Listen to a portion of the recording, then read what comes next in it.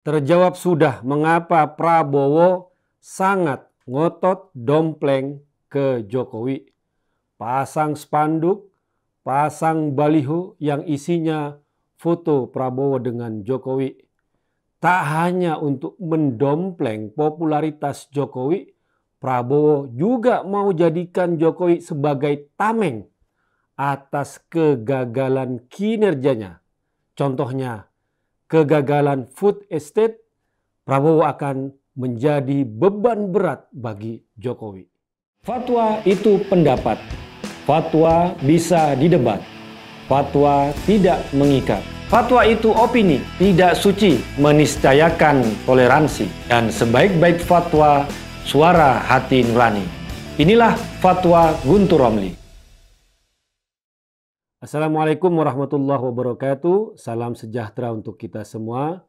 Shalom, shalom aleichem, om swastiastu, namo buddhaya, widadong tien rahayu, salam Nusantara. Food estate atau lumbung nasional sedang ramai dibicarakan. Sekjen PDI Perjuangan Hasto Kristianto melontarkan kritik pada pelaksanaan program tersebut. Ada beberapa proyek food estate yang gagal khususnya yang di bawah pelaksanaan Prabowo Subianto sebagai Menteri Pertahanan. Tapi sudah terlanjur membabat hutan. Food estate adalah program yang baik untuk ketahanan pangan kita dengan membangun lumbung-lumbung nasional. Tapi ide yang baik tidak selalu dilaksanakan dengan baik. Malah hanya menjadi bancakan proyek belaka. Seperti halnya pembangunan BTS yang menyeret Menko Info waktu itu, Joni Plate, yang kemudian tersangkut kasus korupsi. Karena itu, pada level pelaksanaan dan kegagalan food estate ini hingga dugaan adanya korupsi seperti halnya kasus BTS, maka harus diungkap kebenarannya. Food estate yang ditangani Prabowo memang sudah diberitakan banyak masalah. Mulai dari dugaan pembabatan hutan, perampasan tanah rakyat, penggunaan cara-cara intimidatif hingga kegagalan yang hingga kini lahan-lahan itu terbengkalai. Ada video liputan BBC News Indonesia berjudul Program Lumbung Pangan Nasional Ribuan Hektar Sawah dan Kebun Gagal Panen. Video liputan itu sudah ditonton 1,3 juta lebih Liputan BBC itu bersama LSM pantau gambut terkait 600 hektar kebun singkong yang mangkrak di Kabupaten Gunung Mas, Kalimantan Tengah. Liputan itu dimulai dengan keluhan warga bernama Rangkap yang memiliki tanah garapan 4 hektar yang dikelola turun-temurun, khususnya pohon-pohon karet, tapi digusur karena program food estate yang dikerjakan kementerian di bawah Prabowo.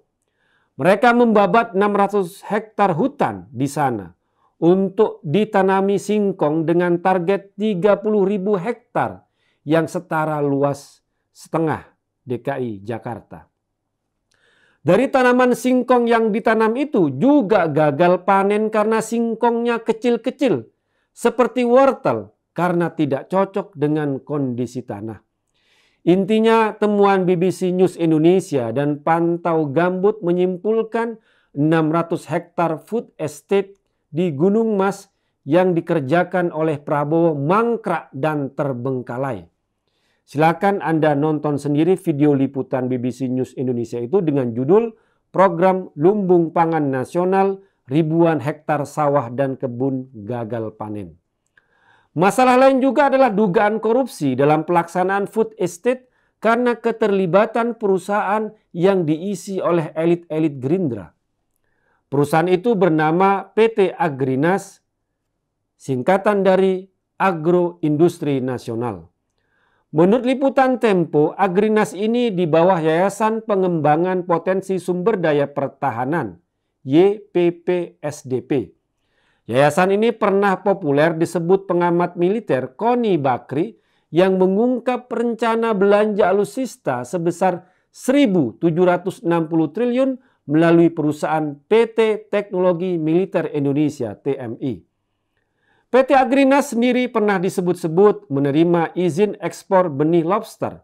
Soal izin ekspor benih lobster itu kemudian ada kasus korupsinya yang menjerat Menteri Kelautan dan Perikanan waktu itu yang dari Gerindra, Edi Prabowo yang ditangkap KPK.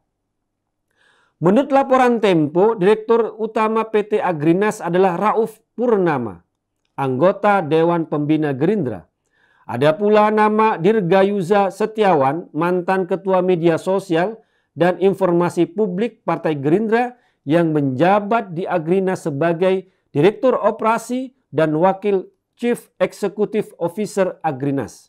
Dari laporan Tempo pula, Agrinas sudah membuat proposal tawaran investasi ke Korea Selatan dengan nilai 4,17 triliun. Tentu saja nama Jokowi dibawa-bawa di situ. Anehnya setelah proposal itu dibongkar Tempo, pihak Agrinas membantahnya. Anggaran food estate tahun 2021-2022 seperti yang diberitakan sebesar 1,595 triliun. Sejak tahun lalu, food estate ini sudah menjadi bahan kritik di Komisi 4 di DPR RI. Tentu saja tidak semua program food estate itu gagal. Seperti food estate di Sumba Tengah bisa dibilang berhasil dengan tanaman padi dan jagung seperti yang dituturkan oleh Menteri Pertanian Syahrul Yasin Limpo. Di Kaltang sendiri kegagalan food estate tanaman singkong di Gunung Mas yang digarap oleh Prabowo, Kementerian Pertanian sendiri menolak bertanggung jawab. Karena Kementerian Pertanian, Kementan, hanya mengolah food estate di Kabupaten Kapuas dan Kabupaten Pulau Pisang. Seperti hak jawab yang mereka kirimkan ke BBC News Indonesia.